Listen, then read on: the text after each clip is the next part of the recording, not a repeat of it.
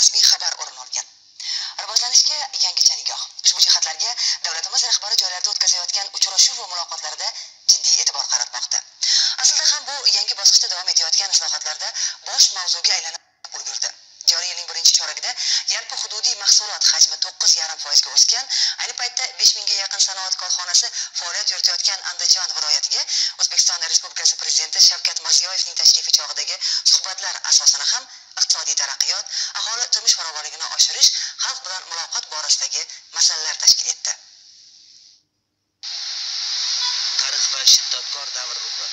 Zamonaviy andijon qiyofasida ushbu jihatlar namoyonki u ayniqsa bobur mirzodek benazir shoir mutafakkir bobomiz siymosiga bo'lgan chuqur ehtirom misolida yaqqol ifoda topadi. Andijonga kelgan har qanday kishi albatta bog'i shamolga kelib ulug' ajdodimiz qadamjosini ziyorat qilish istagida bo'ladi. Prezidentimiz shavkat mirziyoyev andijon viloyatiga tashrifini aynan ushbu fayzli bahavo maskandan boshlagani bejiz emas. Zero zahiriddin muhammad bobur o'zining umrboqiy asarlari go'zal baytlari bilan o'zbek adabiyoti milliy ma'naviyatimizga beqiyos hissa qo'shdi. Ajoyib manzara kasb etgan baland tepaliklar uzra yastangan bog' infratuzilmasini endilikda yanada takomillashtirish mo'ljallanmoqda. Davlatimiz rahbariga uch yuz ellik yetti gektarlik maydonga ega loyihaning o'ziga xos jihatlari haqida so'zlab berildi. Bog'da uning darvozasi muzey bobur hokim qo'yilgan xonaqoh hayvonlar attraksionlar hamda osma arqon ya'ni kanat yo'li yangicha qiyofada ta'mirlanib qurilish ishlari olib boriladi. Davlatimiz rahbari mazkur reja xususida o'z mulohazalarini bildirar ekan o'zlikni anglash nuqtai nazaridan bunday joylarni obod qilishning ahamiyatiga alohida to'xtalib o'tdi. Zahriddin muhammad boburni e, qilgan ishlarini butun dunyo yaqqol ko'rib turibdi. Qolgan arboblar kitobda va tarixda.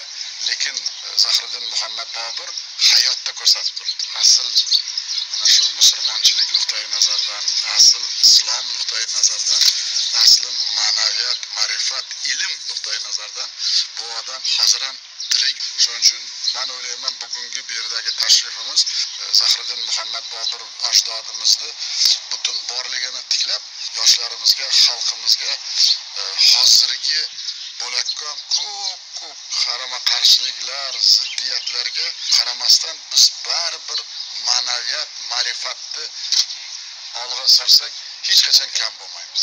Shuning uchun maqsad muddao yana bir marta bu yerni obod qilib e, obod qilganda ham endi andijon miqyosida emas o'zbekiston miqyosida obod qilib chiroyli qilishga siz bilan bir maslahat ming rahmat sizga o'zingiz bosh bo'lib hamma mutasaddi odamlar bilan o'ylab shuni tarbiya o'chog'i biz hozir qaror tayyorlayapmiz.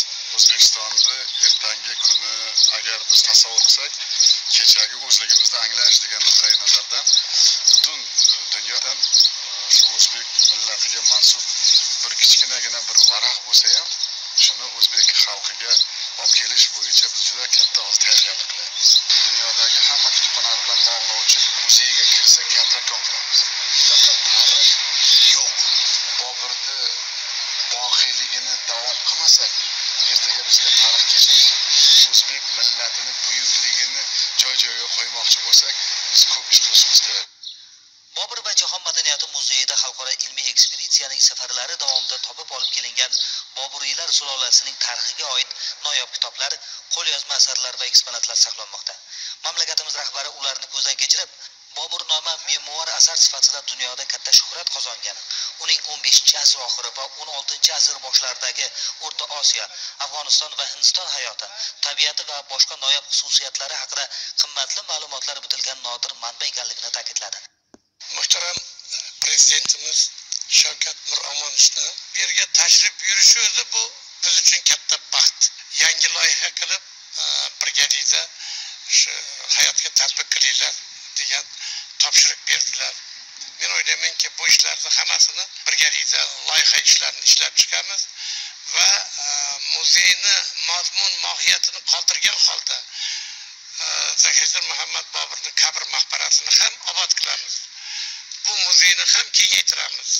E, ichida yangi yangi qo'lyozma e, asarlar bilan noyob kitoblar bilan to'ldiramiz bu madaniyat istirohat bog'i bu yerda shu o'tirib dam oladigan ayvonlar kerak yigirma to'rtinchi may kuni ajdodlarimiz qoldirgan qo'lyozma asarlarni saqlanishi ularni targ'ib qilish e, masalasi bo'yicha alohida qaror chiqdi shu qarorni ifodasini men hozir shu o'tirgan muzeyimizda ko'ryapman bugungi kunda amalga oshyapti biz shu yigirma besh yilda besh yuzga yaqin noyob kitob e, qo'lyozma asarlar to'plagan bo'lsak shu kelgusi besh yilda shuni ikki yuzga ko'paytirish niyatimiz bor.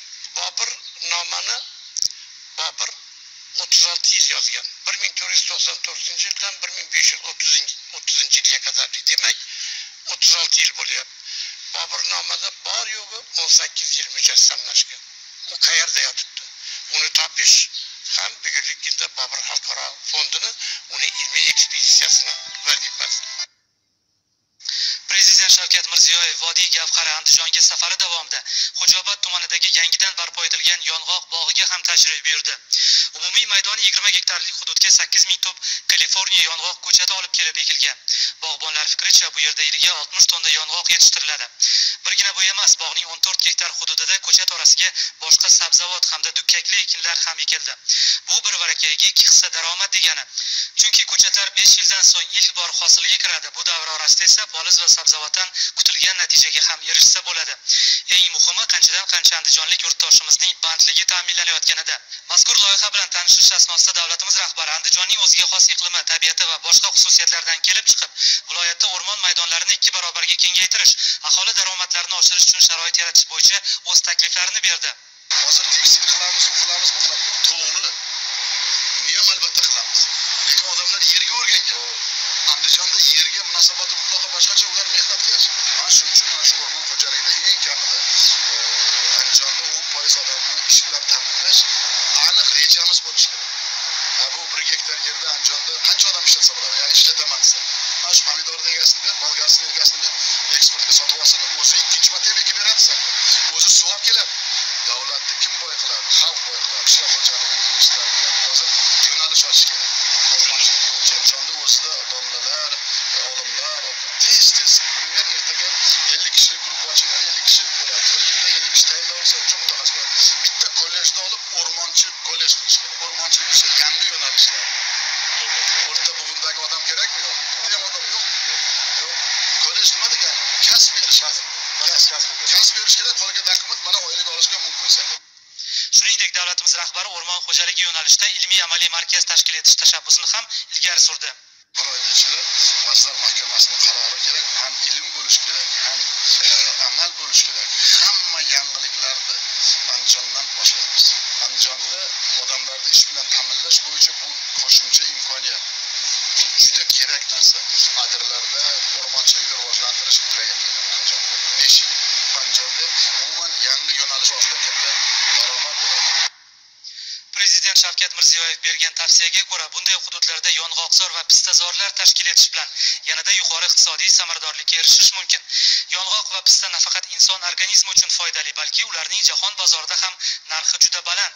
Qolaversa davlatimiz rahbari mavjud ilmiy tekshirish institutlari bilan fermerlar o'rtasidagi hamkorlikni kuchaytirish urug' va ko'chatlarning yangi navlarini yaratish ustida izlanishlarni takomillashtirish loyihalarni belgilangan muddatlarda amalga oshirish xususida ham o'z fikrlarini bayon etdi. Hozirgi Э, suhbatda pista haqida ham ko'p urg'u berildi.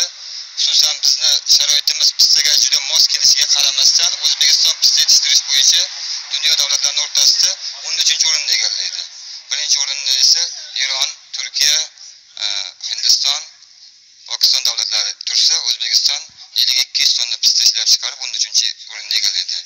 Biz ana shu pistani ham e, in vitro mikropayvand usulini qo'llagan holatda buni ham ko'paytirishni maqsad qilib oldik. Har bir viloyat uchun yuz gektardan pista ko'chatini ham yetishtirib berishni maqsad qilib oldik.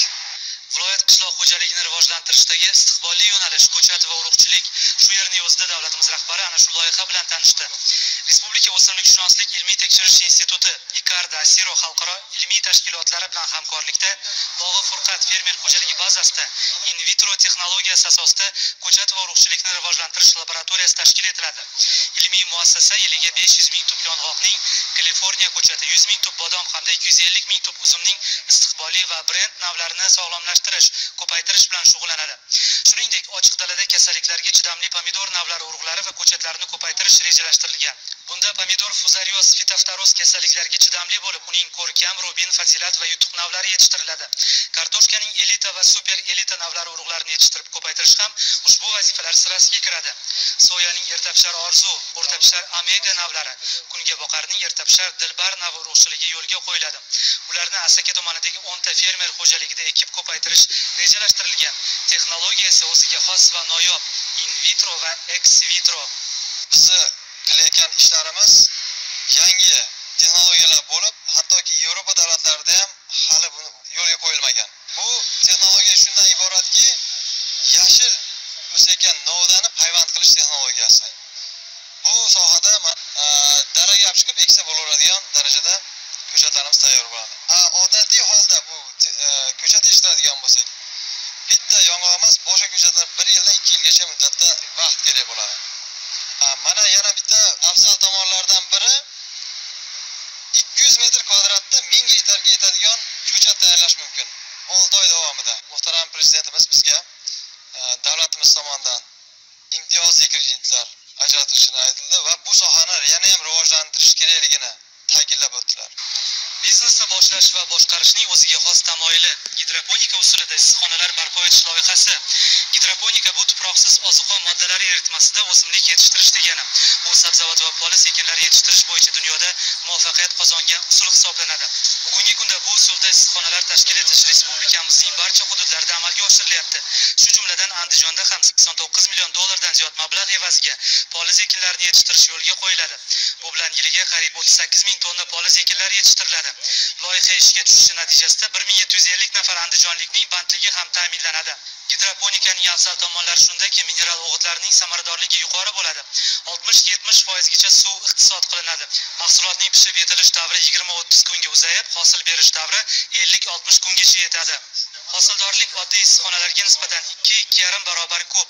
Yerni ekishga tayyorlash qayta talab qilinmaydi. Ekologik muhitga salbiy ta'siri yo'q. Asosiysi mahsulot ta'mi o'zgarmaydi. U xuddi tabiiy mahsulotniki bilan bir xil.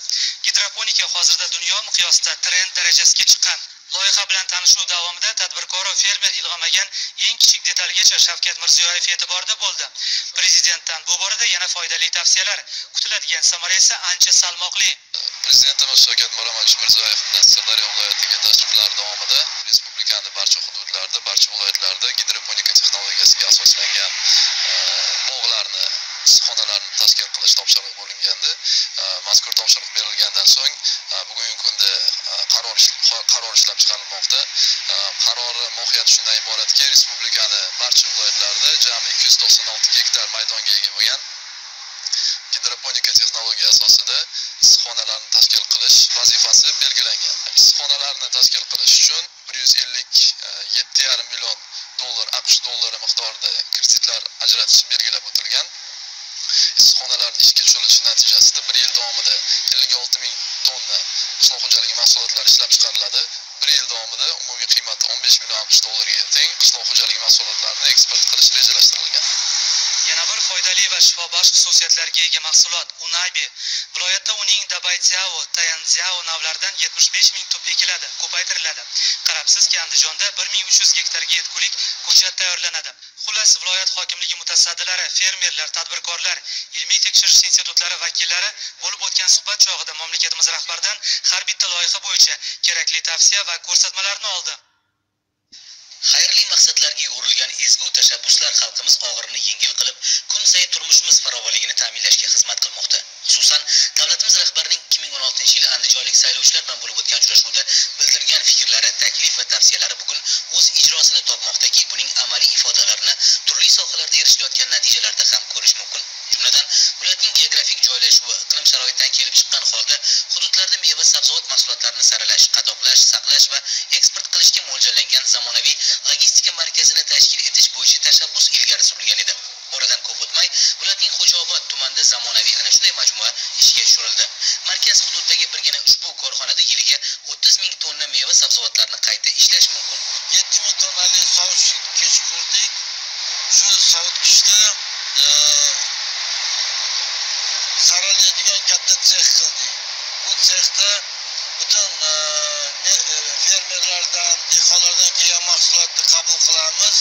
Qabul qilib ularni e, saralaymiz bunda meva sabzavot va har xil ko'katlarni qayta ishlash mumkin.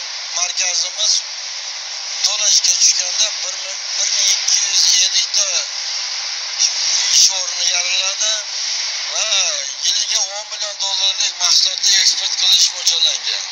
Xo'jaobod tumanidagi istiqbolli loyiha majmuaning dastlabki bosqichida meva sabzavotlarni saralash quritish va qadoqlash ishlari amalga oshiriladi.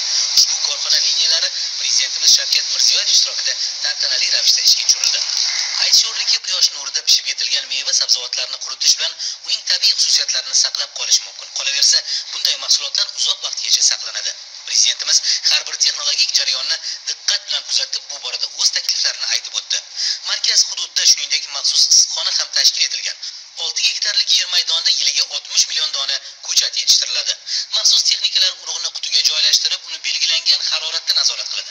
Har bir jarayon kompyuter orqali boshqariladi. Bu esa ishdagi unumdorlik va aniqlikni oshirmoqda. Prezidentimiz mazkur issiqxonada qo'llanilayotgan yangi texnologiyalarning o'ziga xos jihatlari bilan ham qiziqdi. Shundan so'ng navbatdagi taqdimotlarga kirishildi. Avvalgilardan farqli ravishda hududdagi tadbirkorlar mavjud imkoniyatdan oqilona foydalangan holda meva sabzavotlarni yangicha usulda qayta ishlash saqlashga mo'ljallangan korxona faoliyatini yo'lga qo'yishni maqsad qilishgan. Viloyatning oltinko'l tumanidagi andijon charm korxonasi negizida teri xomashyosini qayta ishlash bo'yicha faoliyat amalga oshirilmoqda. E'tiborli tomoni ushbu korxonalarda tayyor charmdan yana bir xomashyo ya'ni jelatin mahsulotini olish mumkin. 2017-2018 yillarda viloyatda charm poyabzali sohasini rivojlantirish dasturi doirasida qiymati 9,7 million dollar bo'lgan 20 ta loyihani amalga oshirish ko'zda tutilmoqda. Prezidentimizga mazkur yo'nalishda olib borilayotgan ishlar yuzasidan ham ma'lumot berildi. Aholiga qulaylik yaratishni maqsad qilgan yana bir loyiha viloyat hududlarida zamonaviy savdo majmualari dehqon bozorlarini qayta qurishni nazarda tutadi. Bu boradagi ishlar tashqi iqtisodiy faoliyat milliy banki tomonidan moliyalashtirilmoqda. Hozirgi kunda milliy bank tomonidan e, butun respublika miqyosida ikki yuz qirq ikkita bozorlar tanlab olinib amaliy ishlar boshlab yuborildi. Xususan andijon viloyatida e, bizni yigirma bitta bozor bo'ladigan bo'lsa undan to'rttasini ikki ming ikki ming o'n yettinchi yilda qurilishi amalga oshirilishi belgilanib olindi. Bunda jami loyihalar miqdori yigirma besh milliard tashkil qilmoqda. Prezidentimiz zamonaviy tipdagi bozor majmualarini barpo etish loyihasini ko'zdan kechirar ekan ularning qurilishida milliy zamonaviy me'morchilik an'analari inobatga olinishi zarurligini ta'kidladi. Savdo sotiq ishlarida mahsulotlarning sanitar xavfsizligiga e'tibor qaratish aholi uchun barcha imkoniyatlarni yaratish yuzasidan ko'rsatmalar berdi. Andijon viloyatining sharqiy qismida joylashgan xonobod shahriga bejiz o'zbekistonning shvetsariyasi deya ta'rif berilmaydi. Bu hudud o'zining so'lim go'shasi betakror tabiati purvqor tog'lari yer yuzining deyarli barcha hududlaridan keltirilib ekilgan noyob dog' daraxtlari bilan alohida ajralib turadi. Davlatimiz rahbari tashrif doirasida qurilishi tugallanmagan xontog' dam olish sanatoriyasini ham ko'zdan kechirdi. Mazkur hudud yuqori tog'li subtropik iqlim sharoitiga musaffo havo va ming bir dardga shifo zilol suvlarga ega bo'lganligi bois insonlar salomatligini tiklash qolaversa ichki va tashqi turizmni rivojlantirishda muhim ahamiyat kasb etadi. Darvoqe turizm haqida so'z ketganda mazkur shaharni tarixchi olimlar buyuk ipak yo'lining eng qulay chorrahasida qoradaryo bo'yida joylashgan kichkinagina shaharcha deb ham atashligisini eslatib o'tishni joiz deb bildik. Shavkat mirziyoyev mazkur sanatoriyaning dam olish kompleksiga aylantirish yuzasidan o'zining tegishli ko'rsatmalarini berdi. Bu yerdagi tog'oldi uchastkasida dedi shavkat mirziyoyev viloyatning har bir tumaniga xos bo'lgan yozgi dam olish zonalarini qurish lozim. Bu yerda madaniy va ko'ngilochar dasturlar tashkil etiladi. Bugungi xonobod yangi xonobodga aylanishi kerak dedi mamlakat rahbari. Bahavo hududda joylashgan ushbu sihatgohning birinchi bosqichidagi ta'mirlash ishlari keyingi yil navro'z bayramiga qadar amalga oshiriladi va yirik tadbirlar ayni shu yerda o'tkazilishi rejalashtirilyapti ushbu maskan to'liq ta'mirlangach sog'liqni saqlash xizmat ko'rsatish sohalarida mingdan ziyod yangi ish o'rni yaratiladi va har yili uch yuz mingdan ziyod dam oluvchiga sifatli xizmat ko'rsatiladi. Prezidentimiz ushbu sihatgoh nafaqat shahar aholisi va andijonliklar balki butun respublika aholisi uchun ham eng shinam ko'rkam dam olish maskaniga aylanishi uning mo'tadil havosi shifobaxsh giyohlar va mineral suvlaridan hamyurtlarimiz ham bahramand bo'lishlari lozim dedi. Bo'z andijonning eng chekka manzillaridan biri. U farg'ona viloyatining yozyovon tumani bilan chegaradosh. Aslida har bir hududga xos hayotiy masalalar o'ziga xos yondashuvlarni talab etadi. Prezidentimiz shavkat mirziyoyev ikki ming o'n oltinchi yil birinchi noyabrda bo'z tumanida o'tkazilgan viloyat saylovchilari bilan uchrashuvda qishloq xo'jaligi mahsulotlarini yetishtirishga asoslashgan tumanni har tomonlama rivojlantirish ko'p tarmoqli agrokomplekslarni tashkil etish hududga sanoatni olib kirish shuningdek ehtiyojmand oilalarga arzon va sifatli uy joylar qurishga alohida e'tibor qaratgan edi. O'tgan vaqt mobaynida tumanda istiqomat qilayotgan oltmish sakkiz mingdan ortiq aholi manfaatiga daxldor tashabbuslar izchillik bilan amalga oshirilmoqda. Xususan chorvador mahalla fuqarolar yig'ini hududida yangilangan namunaviy loyihalar asosida yangi massiv bunyod etilyapti. Bor yo'g'i uch oyda uch xonali ikki sotixli dastlabki o'nta uy foydalanishga topshirildi. Davlatimiz rahbari bo'z tumaniga tashrifi doirasida mazkur massivda bo'ldi. Samimiy dildan muloqotlar mohiyatan yurtimizda keng miqyosda barpo etilayotgan qulay va arzon uy joylar yuzlab ehtiyojmand oilalarga quvonch baxsh etayotgani haqida eshitdi ushbu massivda joriy yilning o'zida yana o'ttiz sakkizta uch xonali ikki sotixli hamda bitta o'n olti xonadonli ikki qavatli turar joylar barpo qilinishi rejalashtirilgan. Prezidentimizning qaroriga ko'ra endilikda ayni masalaga kompleks yondashilgan holda bunday massivlarda mahalliy ijroiy hokimiyati va davlat idoralari hududiy bo'linmalari rahbarlari hamda profilaktika nozirlari uchun ham xizmat uylari qurilmoqda. Tez orada ushbu maskanda tuman mutasaddilarining aholi bilan yonma yon istiqomat qilishi fuqarolar bilan bevosita muloqotining yanada faol ko'rinishiga ham guvoh bo'lamiz. Albatta bunday ezgu amallar zamirida farzandlar kamoli oilalar mustahkamligi xalq manfaati aholi farovonligi yurt tinchligi osoyishtaligini ta'minlashdek xayrli maqsadlar mujassam. Muhtaram prezidentimiz shavkat miromonovich tomonidan e, kam ta'minlangan va ayniqsa yosh oilalarga e, qurilayotgan uy joylarni e, ommaviy axborot vositalarida televizorlarda ko'rib juda havas qilardik e, va o'zimiz tumanda tashkil qurilayotgan uy joylarni eshitib bo'z tuman hokimligiga qurilish bo'limiga kirib murojaat qilib ariza berdik va uch oy e, ichida e, uyni kalitini olishga muyassar bo'ldik. Hozirda mm, ko'chib chiqqanimizga mm, ikki oy bo'ldi. Hozir hamma sharoitlarimiz bor suv gaz svet shaharnikidan qolarli joy yo'q xonalarimiz keng yorug' ozgina e, yer maydonimiz bor ko'kat yetishtirgani kundalik turmushga bundan tashqari bizga e, shunaqa chiroyli loyiha bilan tushgan e, tovuq boqishga sharoitimiz bor. Hozirda ellikta tovuq oldik. Ellikta tovug'imiz kuniga qirqta qirq beshtadan tuxum beryapti. Endi qog'ozda emas xalq uchun amalda chin yurakdan ishlaydigan davr keldi. Bo'z tumanidagi dastlabki yengil sanoat manzili sohaning katta salohiyatiga doir muloqot markazi bo'ldi. ikki ming o'n yettinchi ikki ming yigirma birinchi yillarda o'zbekiston respublikasini yanada rivojlantirishning beshta ustuvor yo'nalishi bo'yicha harakatlar strategiyasida ham ayni masalaga alohida e'tibor qaratilgan. Maqsad eksportni kengaytirish qo'shimcha qiymatga ega mahsulotlar ko'lamini oshirish. Bunda xom ashyoni chuqur qayta ishlash orqali sanoatni yangi bosqichga ko'tarish lozim bo'ladi. Prezidentimizga taqdim etilgan navbatdagi loyihalar ham hududda yetishtirilgan paxta xom ashyosidan tayyor gazlama trikotaj mato ip kalava ishlab chiqarishni kengaytirishga qaratilgan. Mana hozirgina muhtaram prezidentimizga andijon viloyatidagi yengil sanoat salohiyatini yanada oshirish dasturini taqdimoti bo'lib o'tdi. Man bir narsani eslab ketishim kerak. Ikkinchi oktyabr kuni respublikada yengil sanoat rivojlantirish dasturini taqdimot qilayotganimizda bizga aniq bir topshiriq berildi andijon viloyatida bo'z tumanida va ulug'nor tumanida yengil sanoat loyihasini albatta amalga oshirishimiz kerak. Chunki bu tumanlarda Э, э, aholisi ko'p bo'lgan tumanlarda paxta ko'p yetishtiriladigan qishloq xo'jalik tumanlarida sanoat yo'qligini o'ziga aniq topshiriq qilib berdilar. Shuning uchun shu shu topshiriqni bajarish uchun biza andijon viloyatida shu ikkita tumanda salohiyatli e, sarmoyador tadbirkorlarni topib va ular bilan shu ikki uch oy ishlab e, loyihalarni e, amalga oshirishni boshladik. Bu loyihalar muhtaram prezidentimizni saylovoldi uchrashuvlarga kelganlarida ya'ni shu birinchi noyabr kuni bo'z tumaniga kelganlarida birinchi boshladik va bugungi kunga qurilish ishlarimiz qariyb ellik foizga bitdi. Kelgusi yilda viloyatda tayyor mato ishlab chiqarish o'tgan yilgi o'ttiz sakkiz o'ndan yetti foizdan qirq sakkiz foizga yetkaziladi. Taqdim etilayotgan loyihalar orqali xomashyoni chuqur qayta ishlash tizimiga asos solinadi. Ya'ni tikuvchilik trikotaj mato va ip kalavalarni ishlab chiqarish va bo'yash ketma ketlikda amalga oshiriladi. Jahon bozoriga tanilgan mahalliy brend samoning imkoniyatlari kengaymoqda. Yana bir yirik o'ttiz to'qqiz yarim million dollarlik loyiha amalga oshsa yetmish foizgacha mahsulotni andijonning o'zida qayta ishlash imkoniyati yaratiladi. Prezidentimiz loyihaning ijtimoiy iqtisodiy ahamiyatiga e'tibor qaratib fidoyi va sadoqatli andijonlik tashabbuskor tadbirkorlarni rag'batlantirish kerakligini ta'kidladi. Bugungi kunda biz asosiy e'tibor bergan narsa birinchidan mahsulot narxini tushirish ikkinchidan uni sifatini ko'tarish uchinchidan uni o'z vaqtida e, yetkazib berishni ta'minlash. Shunga o'zimizni e, bo'yoqxona ochyapmiz hozirgi kunda.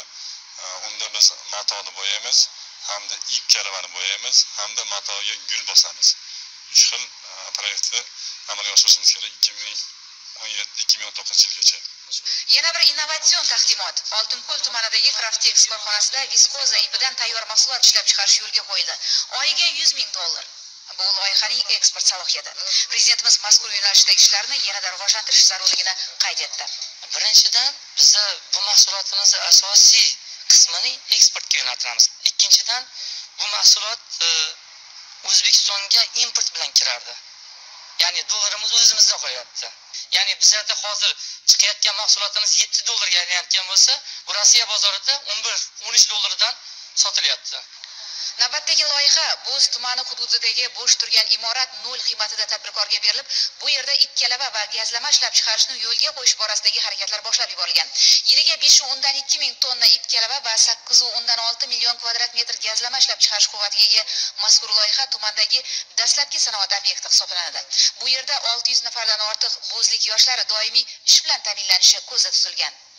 hamma ham tadbirkor bo'lolmaydi u xudoni bir qandaydir marhamati bo'lgan odamga xudo taolo barakasi beradi. Baraka qachon beradi? Xalqqa halol pok avvalambor shu xizmat qilaman degan odamga u darrov boy bo'laman degan odam niyatiga yetmaydi. Andijon xalqi hozir juda katta umidlar bilan yashayapti niyatlar bilan yashayapti.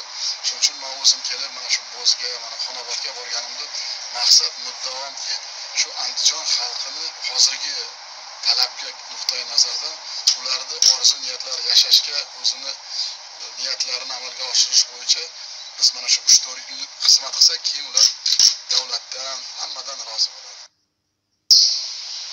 Har qanday qishloq xo'jaligi texnikasi agrar tarmoq rivojida muhim o'ringa ega. Ayniqsa mana bu kabi zamonaviy ixcham samarador eng muhimi tejamkor bo'lgan texnikalar fermerlar imkoniyatlarini yanada kengaytiradi. Bu yerda qariyb 70 ta turli xildagi maxsus texnikalar mavjud. Ahamiyatlisi ularning barchasi birgina chorvachilikka ixtisoslashgan fermer xo'jaligiga tegishli. Oltinko'l tumanida joylashgan baxt imkon rivoj chorvasi fermer xo'jaligi. Navbatdagi tashrif manzili bo'lgan mazkur xo'jalikda ayni paytda bir yarim mingga yaqin qoramol va uch yuz bosh nasldor echki boqiladi. Ulardan yiliga besh ming tonna sut olinib qayta ishlovchi korxonalarga yuboriladi. Qayd etildiki mazkur ko'p tarmoqli fermer xo'jaligi o'z yo'nalishida katta salohiyat va boy resursga ega. Davlatimiz rahbari bu yerga tashrifi davomida dastlab xo'jalikka chetdan olib kelingan jonivorlarning o'ziga xos jihatlari bilan qiziqdi. Bu yerga keltirilgan qoramollarning aksariyati zotdor hisoblanib ular asosan germaniyadan keltirilgan. Chorvachilikda amalga oshirilayotgan islohotlardan kelib chiqqan holda yaqinda xo'jalikka yana 700 bosh nasldor echki olib kelinadi va ularning suti qayta ishlanadi.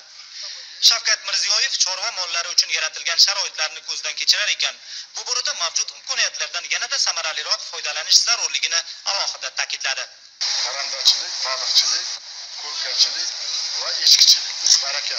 Nimaga desangiz u qashqadaryo yoki namanganda ham yaylov ko'proq jizzaxlarda toshkent viloyatida yaylov ko'p katta yaylovlar bor. Aslarda yo'q. Bu imkoniyatimizdan kelib chiqib mana shu e, jon boshiga shu sutni ta'minlash sut.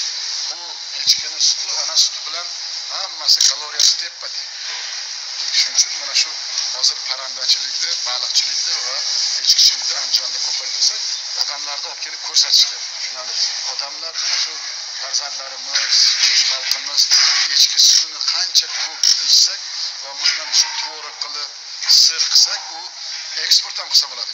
Gap chorvachilikni yanada rivojlantirish qatori agrar tarmoqni takomillashtirish. Qolaversa odamlarning yashash sharoiti turmush farovonligini oshirish fuqarolar ehtiyojini inobatga olgan holda ularning muammolarini hal qilish xususida borar ekan. Ayni paytda qilayotgan barcha harakatlarimiz aynan ana shu maqsadlarga xizmat qilishi kerakligi e'tirof etildi. Albatta chorvachilik rivoji ozuqa bazasining mo'lligi bilan chambarchas bog'liq. Shu bois bu yerda qoramol uchun yem hashak yetishtirishga ham alohida e'tibor qaratilgan. Andijonda chorvachilik yo'nalishidagi ishlar 2017 yilda ham yuqori bosqichda davom etadi. Buni ushbu xo'jalikda taqdimot o'tkazilgan loyihalardan ham ko'rish mumkin. Xususan xalq bank tomonidan viloyatning ulug'nor tumanida 2000 bosh qoramol va 10 ming bosh naslli echkiga mo'ljallangan chorvachilik kompleksi hamda sutni qayta ishlash loyihasi kelajakda aholining go'sht va go'sht mahsulotlariga bo'lgan talabini qondirishda. Aholini boy qiladigan yana bir soha borki bu yetti xazinaning biri parrandachilik. Prezidentimizga shu yerning o'zida qator parrandachilik korxonalari loyihalari ularga yem kerakli biologik moddalar yetkazib berishga ixtisoslashgan ishlab chiqarish obyektlari xususida ham batafsil ma'lumotlar berildi.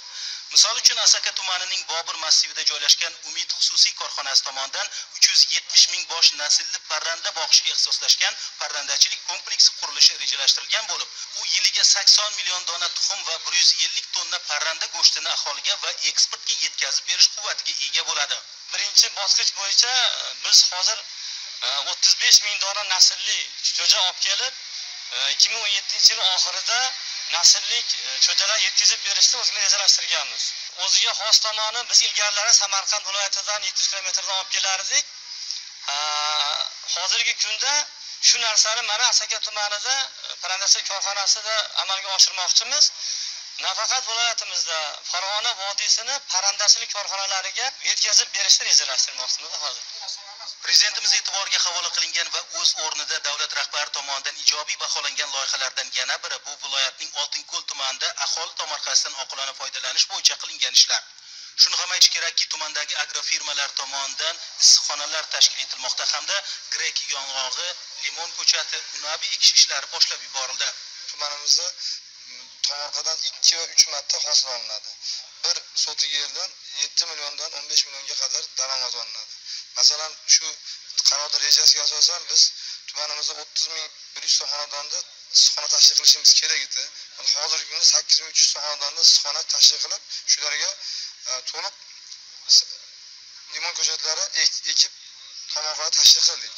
Shularda shulardan yetti yuz elliktasini kam ta'minlangan oilalarda tashkil qilib berdik. Tumanimizda jami ellikolta mahallamizda ellikta agrofirma tashkil qilindi.